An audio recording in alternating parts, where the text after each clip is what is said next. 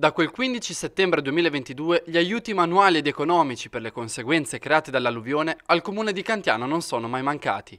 Una città che deve ripartire con gran parte delle attività in situazioni difficoltose senza un futuro chiaro davanti a sé, è arrivato questa mattina un piccolo ma quanto mai prezioso gesto dalla parte più piccola della società. 400 studenti di 12 scuole elementari e medie del comune di Pesaro hanno donato alla città di Cantiano un assegno da 1200 euro. Il contributo è frutto dei 12 notiziari TG delle Buone Notizie, realizzati da settembre 2021 da bambini e ragazzi che compongono la redazione gentile insieme ai loro docenti e dirigenti scolastici e che si sono messi alla prova con scrittura, montaggio video e public speaking. L'obiettivo, in linea con il progetto Mezzo Pieno, è quello di distribuire messaggi buoni da raccontare e da condividere per diffondere la cultura della positività.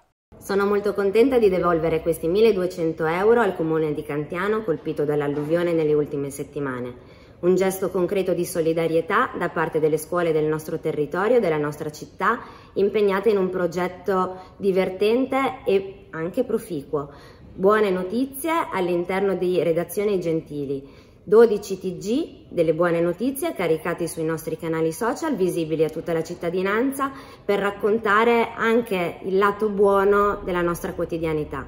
Questo è un segno tangibile, le redazioni hanno lavorato moltissimo, a cui vanno i miei ringraziamenti ai docenti, alle ragazze, ai ragazzi e ai dirigenti che hanno coordinato l'iniziativa, con la speranza che le buone notizie possano essere sempre più popolose e numerose all'interno della nostra quotidianità. Un ringraziamento mio personale e da nome dell'intera comunità di Cantiano al comune di Pesaro per la vicinanza non solo morale ma la vicinanza materiale che ci sta dimostrando in questa difficile fase che stiamo attraversando. Da quel 15 settembre Cantiano è stata letteralmente travolta da questo tragico evento che ne ha compromesso eh, il patrimonio pubblico ma soprattutto ha colpito il cuore del paese. Oggi Cantiano ha oltre il 70% delle attività socio-economiche compromesse, è stato colpito il centro storico, un'intera area artigianale. E quindi pensare al futuro e al ritorno alla normalità non può prescindere dal rilancio del tessuto socio-economico quindi dell'occupazione e quindi della residenzialità. Quindi eh, vicinanze concrete eh, come quella dell'assessore Murgia che stamattina ci ha, ci ha dimostrato sono segnali di incoraggiamento e di fiducia nel potersi rimettere in gioco, rimboccarsi le maniche e pensare di nuovo a un futuro per Cantiano